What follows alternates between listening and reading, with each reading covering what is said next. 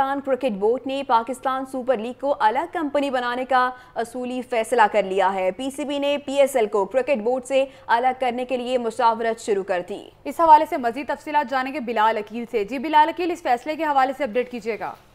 जी बिल्कुल। जिस तरह से सबक चेयरमैन पीसीबी नजम सेठी ने भी पीएसएल को अलग कंपनी बनाने का ऐलान किया था तमाम ये मामला जो है वो तासुल का शिकार रहा था। लेकिन अब नई इंतजामिया ने ऐलान किया है कि पीसीबी जो है वो पाकिस्तान सुपर लीग को अलग कंपनी बनाएगी। और पीसीबी ने पीएसएल को क्रिकेट से अलग करने के लिए मशावरत भी शुरू कर दी है जबकि लीग डिपार्टमेंट को भी पीएसएल को अलग करके जल्द तजावीज मुरतब करने की गई है।